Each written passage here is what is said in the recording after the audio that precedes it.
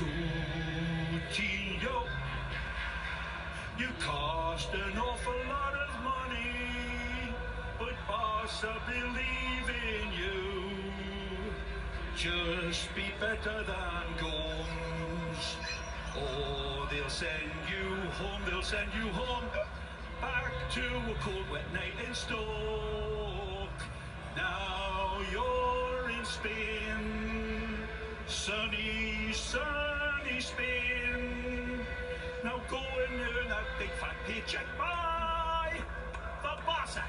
Barca! That might be worth 200 million